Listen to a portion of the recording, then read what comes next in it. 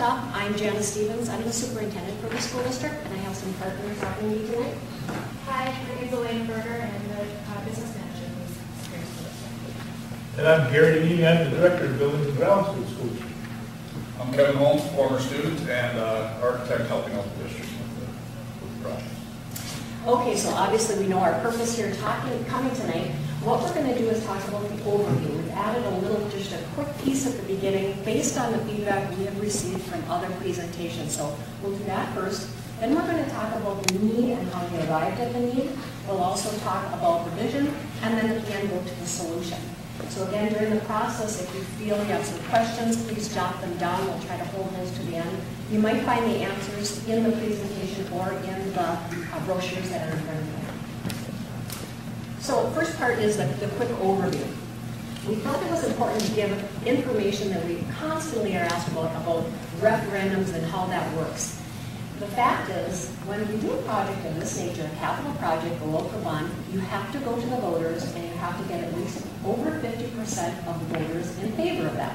There's some misunderstanding that perhaps school districts can do that in Superior or in the state of Wisconsin without that.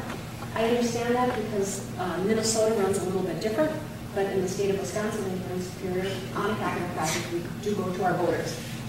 The other big piece that we hear about is ta- say, tell us right away, what is this going to cost?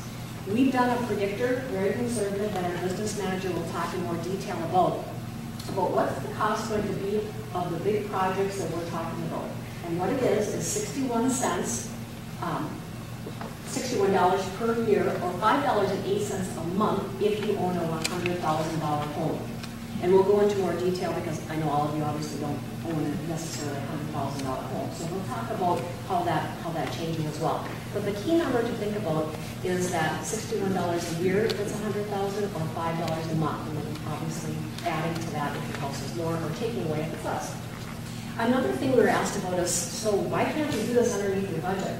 So I've asked Elena to put together a slide on how our budget um, breaks down that we get from the state of Wisconsin.